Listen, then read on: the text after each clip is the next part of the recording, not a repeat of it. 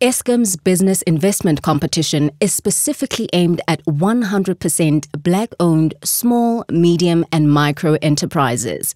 In the South African context, the development of black entrepreneurs is key to bolstering the country's socio-economic growth and alleviating the prevailing poverty, crime, domestic violence, and other challenges within our communities.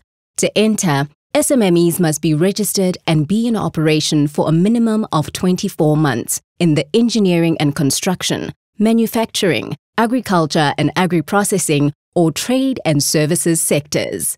With youth unemployment at an all-time high, Eskom is encouraging young entrepreneurs to step up and do their part to revitalize the country's economy. The same goes for female entrepreneurs who continue to struggle with access to financing and mentorship compared to their male counterparts. Prizes for this year's competition are valued at 1.3 million rand. The overall winner will receive 300,000 rand. Each of the four sector winners take home 131,250 rand, while first and second runners up each receive 75,000 rand and 50,000 rand respectively.